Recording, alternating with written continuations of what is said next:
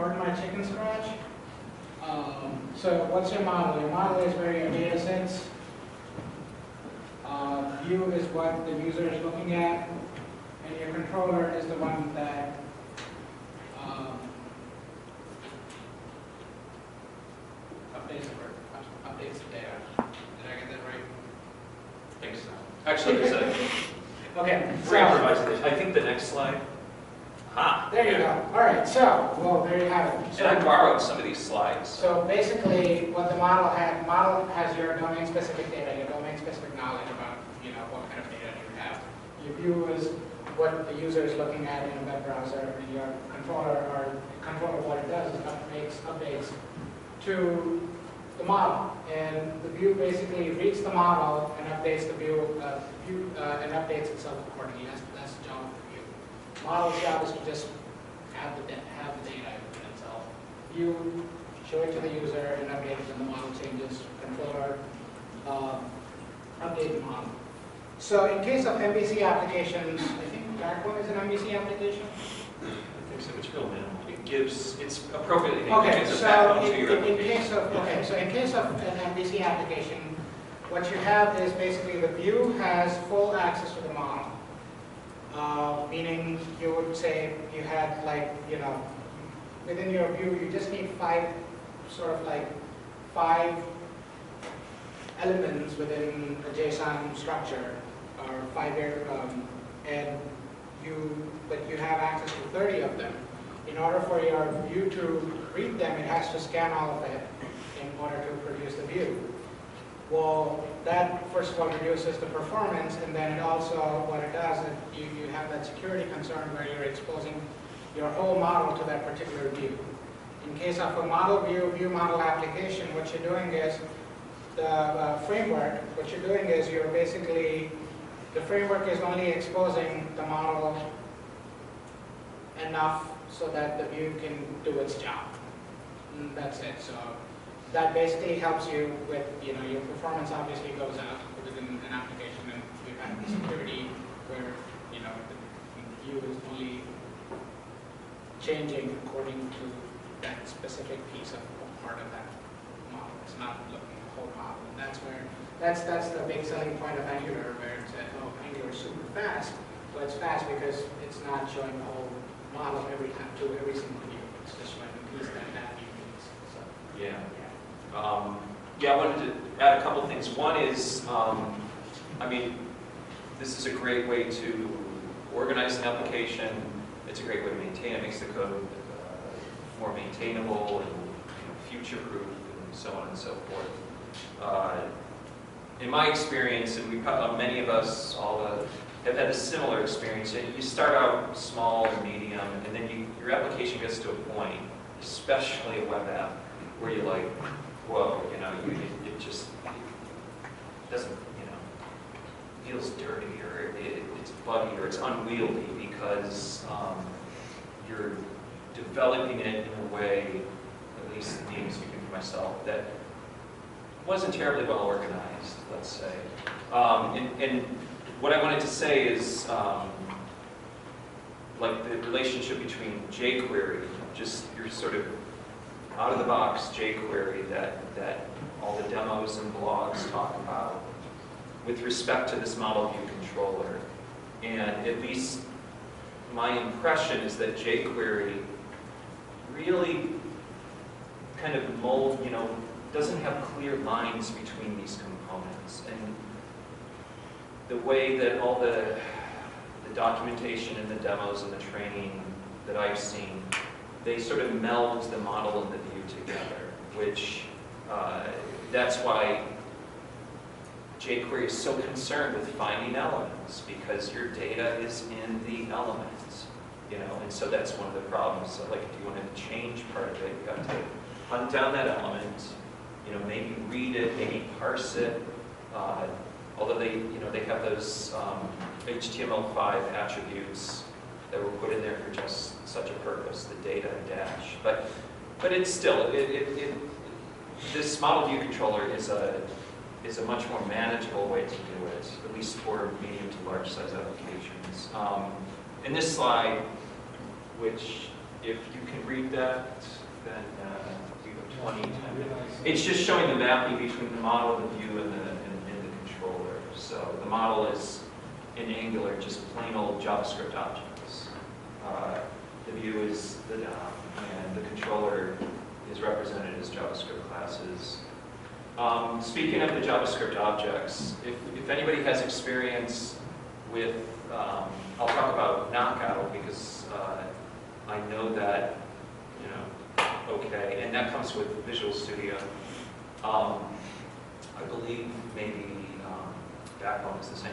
Many of these frameworks require you, and I don't have an illustration, many of the frameworks require you to derive all your model objects, like you know, an employee record.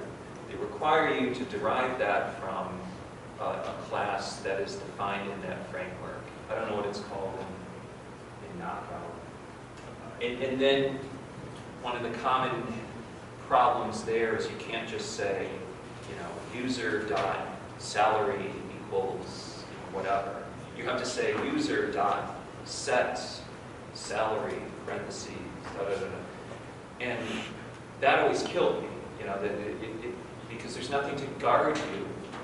There's nothing to guard against trying to set the properties directly. So that's part of the cumbersomeness of those other frameworks that Angular gets around um, through its sort of black magic.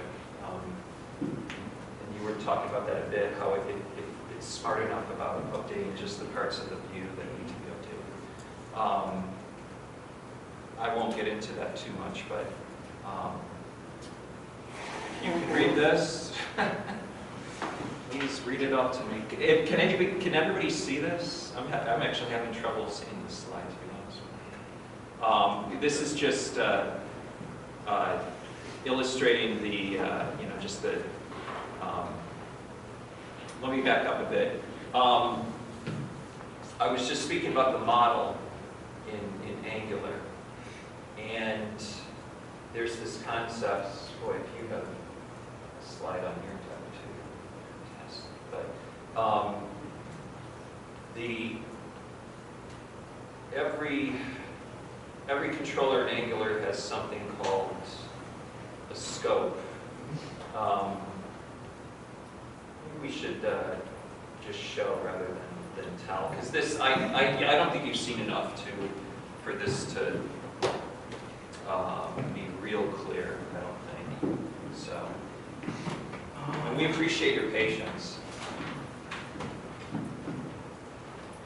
Scope like a, sorry, scope like a binding then?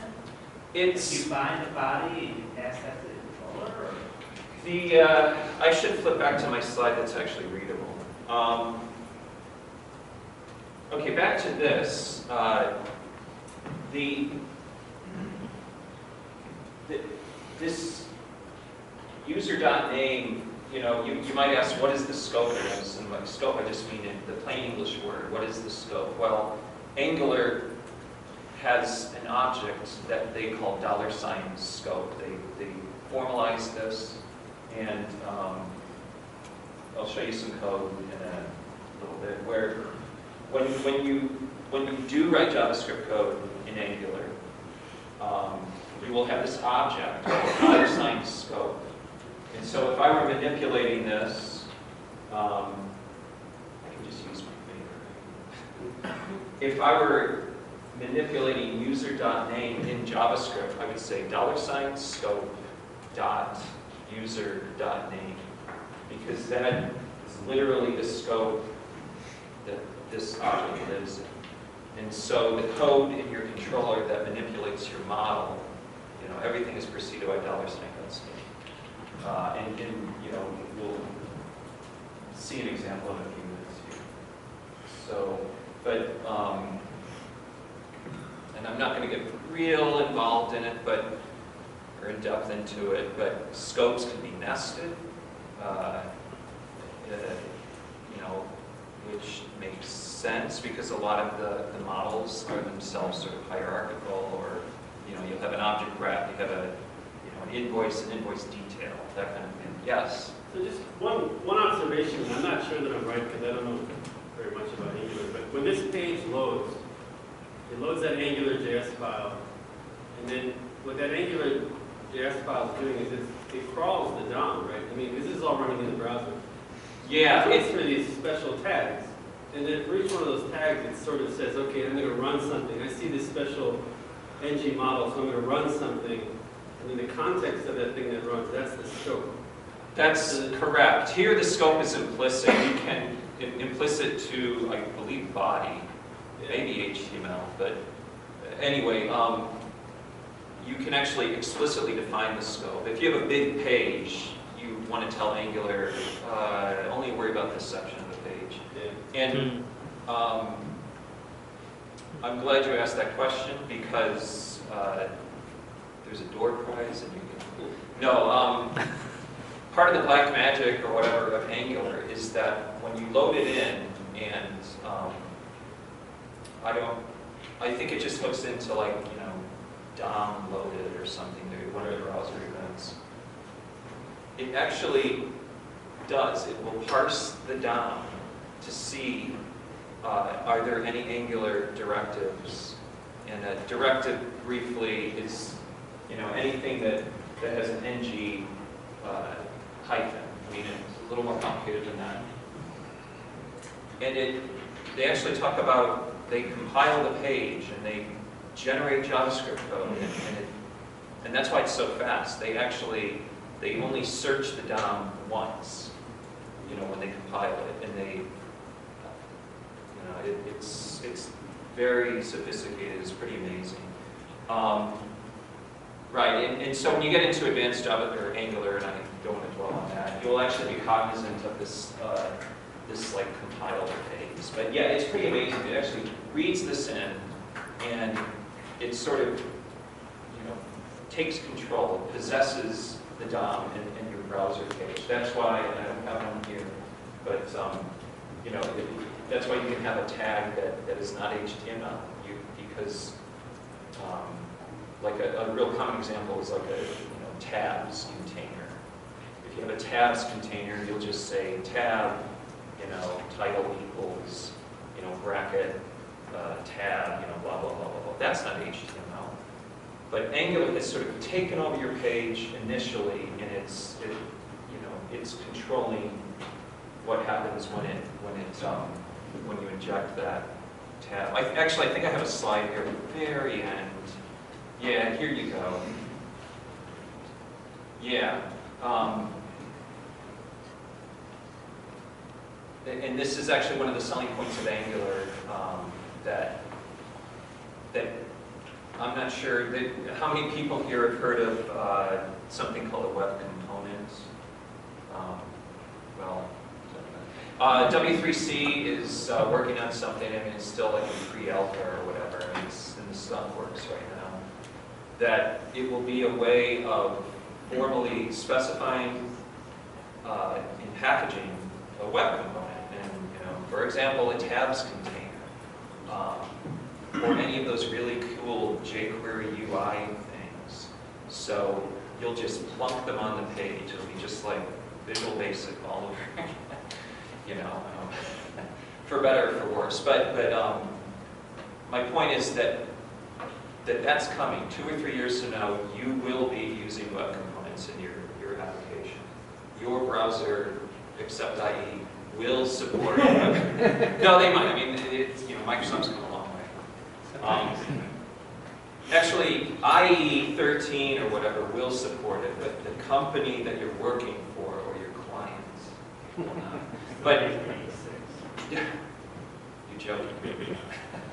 Um, but the point is that the, the, the, the patterns that, that you learn and develop with Angular, uh, you can just go back and forth, you will go back and forth, you know, between web components that are real and supported by the browser, and that will include like mobile, and, you know, IE, you know, whatever. So, um, there's been a lot of back and forth between the W3C committee and the people working on Angular, uh, which is why they're, I mean, they sort of dovetail. Uh, And I was going to show a couple more demos here, just to flesh out. Does anybody have uh, any more questions at this point? Or... I think it's, I mean, I like to see code, so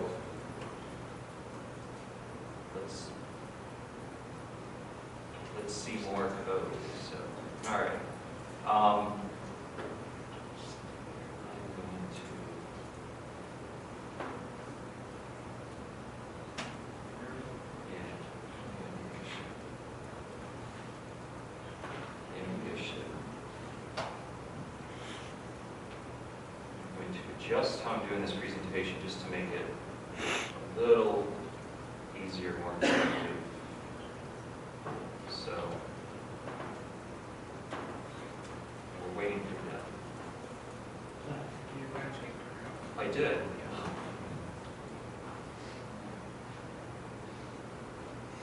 We weren't waiting for Dell, we were waiting for the.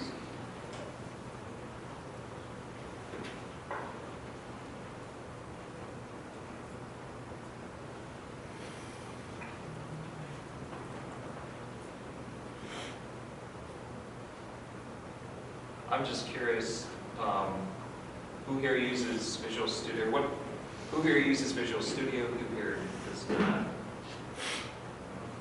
So the Visual Studio? Pardon? It's close enough to. I mean, I do because I work for Microsoft Shop, but um, I kind of miss, you know, actually I own things like, all right, I'm going to go back to the way that worked a minute ago because this projector is not liking what we were trying to make it do, so, you know, apologize for that. Okay, so I'm back to my what I'm trying to do is flip back and forth between source code and the browser. And if I had something like, um, what is it, WebStorm, I think, has that sort of live preview. Has anybody used that? Yeah, it's, I mean, you're, you're, you're writing code, you're writing HTML, and you're watching it on the other side of the screen. It's just, it's responding. So I am going to Okay.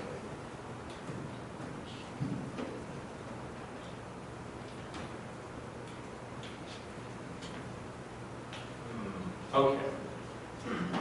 Maybe I should do this. This. You know something, I'm just gonna flip back and forth. You- You're just gonna have to remember, so. Okay, so let me, uh, can everybody read this? Okay. Okay. In fact, I think I might take it down a notch because it's sort of going off screen a bit. Okay. So you can probably still read that. Okay. So um, what I'm doing is the demo I'm, I'm doing is I'm just going up, I'm, I'm adding something each time. So I'm going up a couple layers because I've talked about a lot and you really need to see what I'm talking about. So, um, in this case, uh, this, this uh, ties into a couple of different questions that, that people had. And uh, one of those was, um,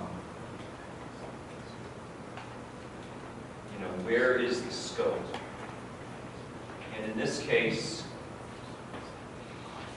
the scope would correspond to the, this controller here. Here's where I'm explicitly, here's why I'm being explicit about the controller. You know, we, we talked a lot about MVC model view controller, but you know, what, what is a controller I'm going to show you, it's actual JavaScript. Um, the, app, the application here, here I'm making it explicit. I'm saying this is the entire HTML document. So I'll show you my controller. And, and like I said, I'm just adding one step at a time to this. I showed you an example a little while ago where all it did is it injected, you know, Fred or Larry or something into a page using the, using the, uh, modeling. So I'm gonna flip over to the page.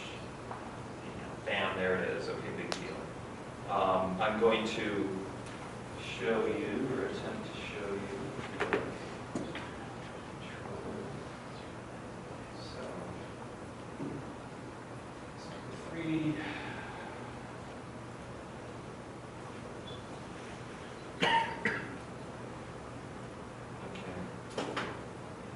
this one up?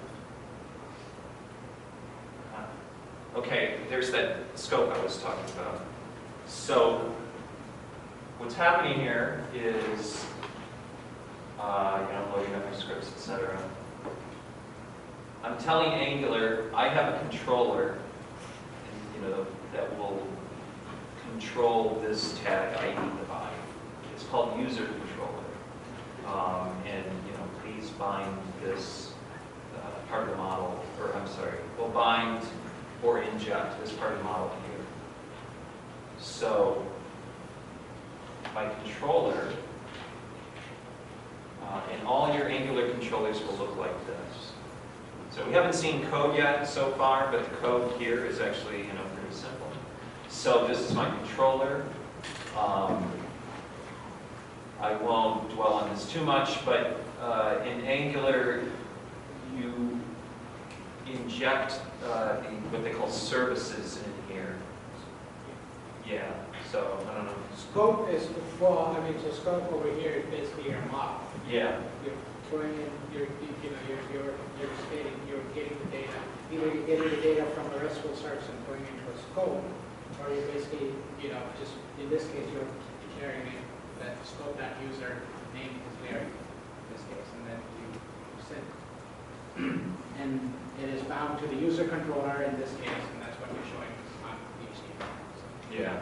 So when this page loads, um, when it initially loads, it will actually say, for a few milliseconds, hi, you know, brace, brace, user.name, and and there's a, and that can be annoying, there's a way to hide that, but here it goes too fast for you to see it. But it's actually loading in the document, Angular's taking over. Angular, based on my HTML, is saying, oh, you want to use this controller. This controller here um, immediately, you know, binds this model to uh, this, this member of the scope called user. And then Angular, um, as soon as it exits out of this JavaScript function here, uh, digests what you've done and it it injects it here, so. Hopefully that makes sense. Okay. The next example I'm going to show you is, that was example number two, I think. No, I'm sorry, that was example number three, so my next example is I'm going to show you an event. Um, Angular does have events. Remember I said they weren't necessary for the very fundamental stuff, like just the data binding? But, you know, they're in there. So my mouse is kind of flaky, that's why it keeps jumping up. Can people read that? Okay. Oh, that's, uh, one of the great things about having a screen in the back of the room is people can read back there. Uh, So what I've done here, what's different here is